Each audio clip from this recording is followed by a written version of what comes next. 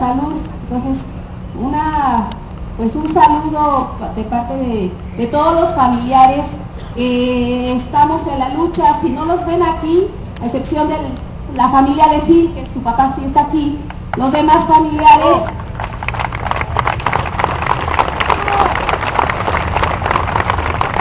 eh, están en el reclusorio, hoy es día de visita. Entonces, a los muchachos hay que irles a dejar dinero, cosas y verlos, ¿no? Como están, muchos están enfermos de la gripa, de, pues, por el clima, todo.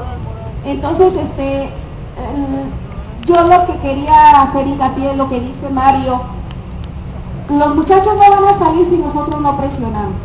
Yo estoy convencida de eso. Entonces, todas las acciones que sean necesarias, nosotros lo respaldamos como familia. Eh, es importante que ustedes sepan que si es cierto, ellos resisten, pero también la paciencia a veces decae. Con esto no quiero decir que se vayan a rendir o que vayan a flaquear, pero sí es difícil su situación emocional.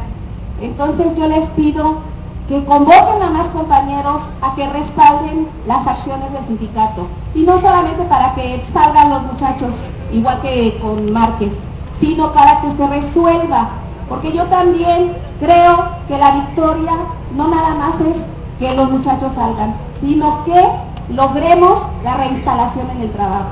Entonces, pues aquí estamos y un saludo de las familias para ustedes. Gracias.